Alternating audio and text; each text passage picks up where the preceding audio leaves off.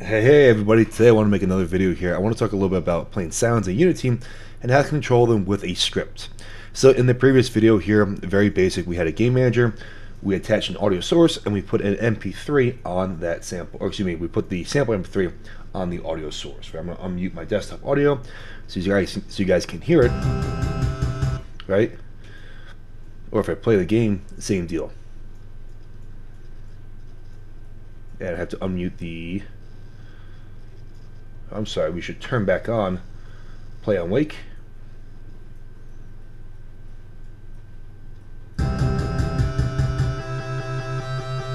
Right, so that's just the kind of default sound behavior, right? If I plop a sound in scene, it plays. If I check it off to play on awake here, it doesn't play if I don't do that.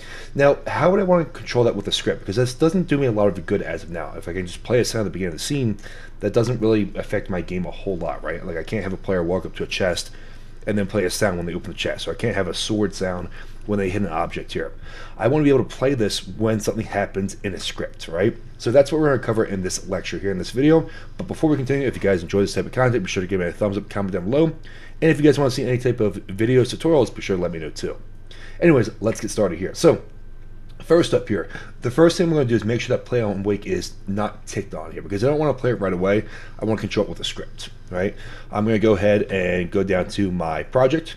I'm going to right click. Let's do create C sharp script and let's just name this audio manager. Now, if it were me and depending on the game, depending on if we're talking about a background check versus an individual uh, sounds from a player or an enemy, I would probably have one script to manage the enemy and then have the audio um, the audio the, the audio components let's call it living on that script here. For this particular video here we just have one script and we're going to cover all the audio with this one script from here just for simplicity. Let's go ahead and open this up. And we're going to drag this in the proper monitor. And we're going to delete this from here right so we're dealing with a nice clean slate so the first thing to do is set up a serialized field serialized field serialized field serialize field. There we go. And we're going to call this audio source. And let's call audio source from here. And we can go back to the Unity window. And remember, this is kind of caching a reference here. So now that we have something in script here, we can drag this in, and this way we can kind of control it within the script. We're saying, hey, this audio source, oh, sorry, one second here. This audio source right here is the one that we're talking about.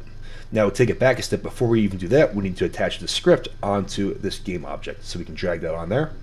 And it's saying, hey, we need an audio source. Well, this game component has an audio source. Right, save. Now another way that you could do that, if you forget or if you want to change it up here, probably the way that I honestly prefer, is to just do it on the start method from here. I noticed as I got more into game development, more into development in general, I like to do more within the script. So this is a more advanced way of doing it. Uh, of course, you could drag it on there. This would work exactly the same from here, but I'd like to do it this way a little bit better here. What we're going to do is we're going to say void, start with a capital S, and remember this is the start method, so this is called at the beginning of the scene. And we're going to just say audio source equals this dot get component, get component audio, capital A, audio source. Cool. So this method right here should link it up, and we can see that if we go back to our game, right, right now there's none. If we hit play, now we can see this being linked up from there, right? Cool. Back to our script, and I'll even make this a little bigger so you guys can see it a little better.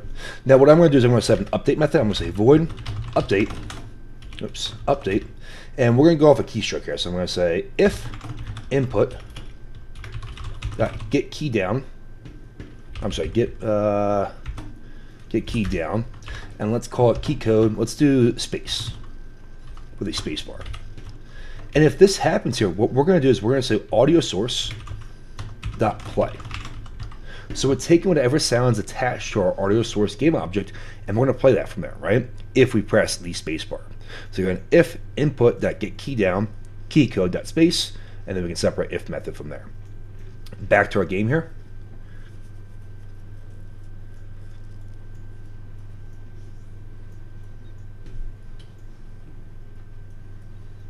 And we'll notice nothing happens until I hit space.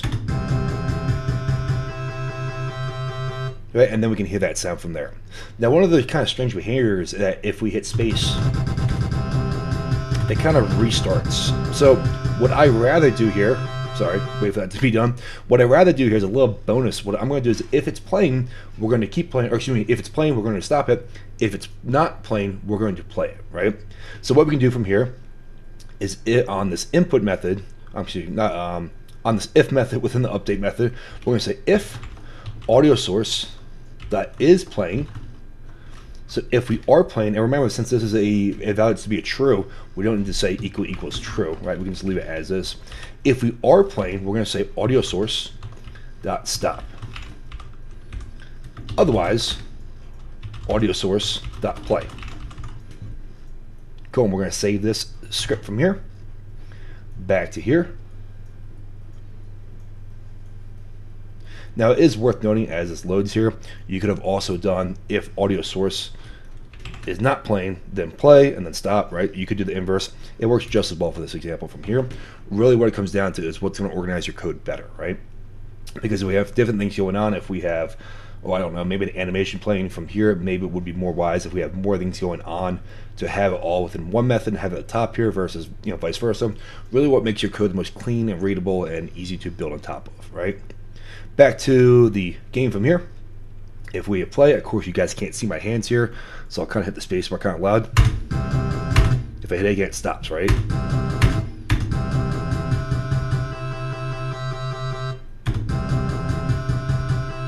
So hopefully that's making come excuse me, hopefully that's coming through on the audio here. You can hear the space bar being pressed and the audio too.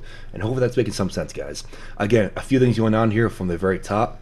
I'm going to save my scene here. Actually, I have to exit play mode first, save the scene. On the main camera, first and foremost, we need to make sure we have an audio listener. That's usually usually almost there by default, but make sure it's still there. On our game object from here, we need an audio source, and we need the script attached. On the script here, we have a reference to audio source, and really what we even could do if we want to remove this and clean up our inspector a little bit, now we don't need to have this serialized anymore. We could have this as a private variable, right? And now if we go back to here, even though it doesn't appear here, we can actually see that if we go down to or go up to here and then debug, we can still see that's on there, right?